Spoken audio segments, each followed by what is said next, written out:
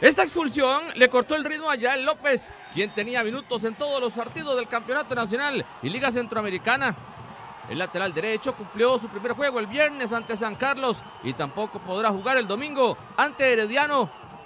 El duelo de este jueves hará que López mantenga su ritmo de competencia y que el cuerpo técnico siga con la rotación en ese puesto. Repito, son ocho partidos mensuales, que es muchísimo, en donde la intención primera es eh, que estén bien.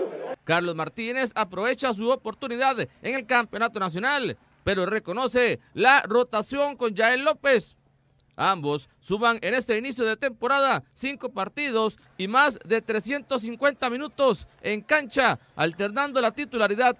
Si bien no hay tiempo para, para tampoco regalar, por decirlo así, este, tengo un compañero muy bueno que me, que también pues está buscando el puesto, así que tengo que buscar el ritmo como sea, ya sea en los entrenamientos o en los minutos que me dé el profe. Alajuelense finalizó su última práctica en el país antes de viajar esta tarde rumbo a Panamá. El equipo tendrá que entrenar en una cancha sintética, ya que no puede hacerlo en el estadio Romel Fernández, donde se jugará el partido.